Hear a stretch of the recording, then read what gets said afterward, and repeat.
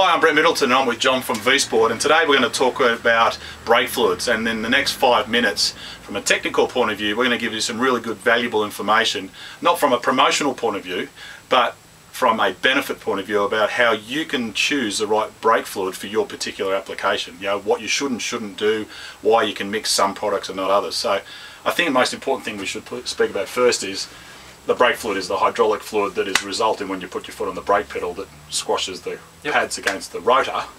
But why do people need to change their brake fluid, John? I mean, it's a pretty um, obvious question to some people, but some other people might not know. For a start, brake fluid's hygroscopic. Uh, for some people, that means it absorbs, absorbs moisture. Um, so over time, basically the boiling point of the fluid and the heat capability that it can have lowers and lowers and lowers each time. So on a road car, um, you can get away with a normal fluid because the temperatures aren't exceeded but it should be flushed every 12 months. When you start getting a high performance car, obviously more speed, uh, braking later and especially in a track day car you need to look at a performance fluid. So I think what we should start at, from our point of view at MRT, we recommend obviously your, the AP Racing, you know, the 600 fluid. How does that compare to a normal run-of-the-mill brake fluid? Um, compared to normal run-of-the-mill brake fluid, it has a much higher dry boiling point. What dry boiling point is, mate? It means straight out of the bottle, um, it has a boiling point of 300 degrees. Um, brake fluids also have a wet boiling point, which means over time after it's been used, so it absorbs moisture, it has a wet boiling, it has a what they call a wet boiling boiling point. Um, so that both of those um, properties are higher than what you see in a standard fluid. Um, you can start with something like this one, that has a boiling point of 220 degrees hot, uh, sorry, wet, and has a 260 degree dry boiling point. Um, so that'll be suitable for a guy that does, you know, a bit of spirited driving and light track work, so forth. Um, next up, you can step to this one, yep. which has the dry boiling point of 300 degrees.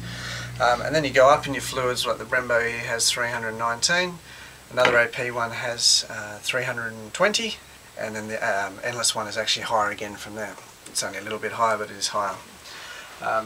And we're talking incremental changes. I mean, obviously, as we go up, they're getting better, yep. but we're not talking huge.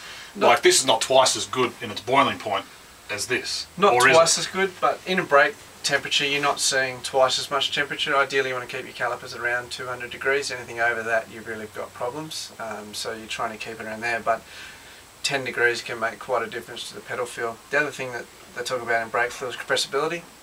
Mm. Different fluids have different compressibility so it can actually improve the pedal feel by changing the fluid.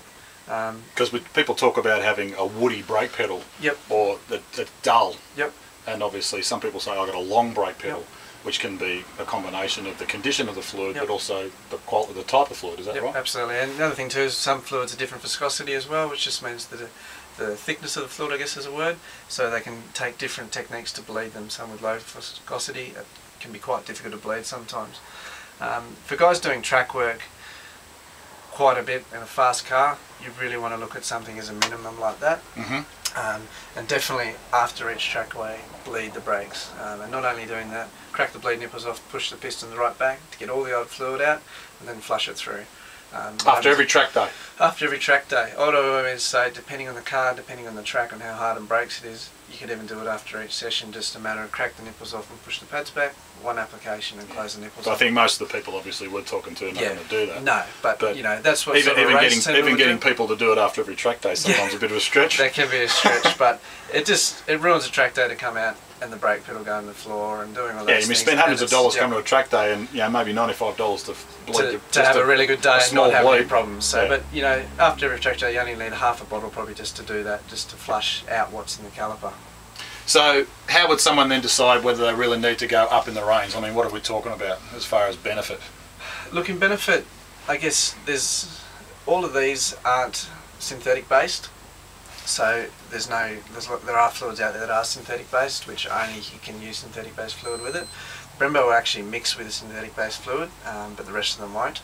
So you have to be careful there mixing fluids. But as far as going up in range, generally nine times out of ten, this will suit your mark. Mm -hmm. um, on a car that's, like I say, Wakefield Park where we are today, it's not very hard on brakes. But if you go to somewhere like Queensland Raceway, which is very hard on brakes, you might find that that slightly extra temperature ability of these three will just keep the pedal firmer. And also the other things are playing what type of tyres you're running, uh, what sort of brake pads, because different brake pads. You can put more temperature into the calipers, Yes. which increases the temperature. Which is as a whole nother technical Yep. video. Um, driving style and tyres, you know, slicks, road tyres, semi-slicks. Okay, so can all these fluids be mixed together if someone really has to? If someone really has to, yes, all of these can be mixed together. Um, ideally, though, it would be the last resort that you'd want to do. You touched on one of them having some silicon content in it. Uh, has no, this one doesn't have um, silicon base, but uh, or synthetic base, but basically it can mix with a silicon base Okay. fluid.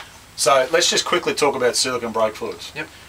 There is a lot of misinformation out there. To put silicon brake fluid in a car, from my knowledge, Yep. you have to completely flush the system, Yep. new seals, absolutely dry system start from scratch Yep. because you can't have any residual leftovers of That's any of the old braking fluid Yep. in the system at all. Otherwise, you basically wasted your money on the silicon That's fluid. correct. Yep. So, like I say, that's the only fluid that will, will mix with that, um, whereas the others won't. So yeah, you basically do have to flush the system and just start from scratch with it. So, So, as a brake specialist, how many people out there use silicon brake fluid?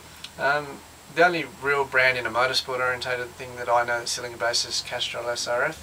Um, it, it's it's quite a good fluid. Um, its main benefit is that it has a very high wet boiling point compared to other fluids. So, from a long-term point of view, Yeah, for someone that wants to live in for a long time, but it sort of it loses that benefit in a motorsport environment because you should be flushing it, so Mm. you're sort of outweighing the cost of being able to leave it in there when you're flushing all the time anyway, or should be at least. Fair enough.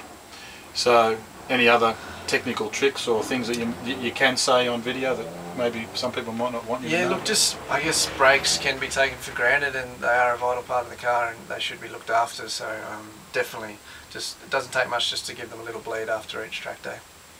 Okay, so um, for more information, obviously you can go to our website, mrtperformance.com.au, and also I've forgotten the V-Sport website. What is Vsport, it? www.vsport.com.au. Okay, so and I'm Brett Middleton. This is John. Thanks for watching. For more information, keeps keep your eye on these videos, and um, it's our aim to constantly update the websites to give good value for you, and um, speak to you again soon. Thanks for watching.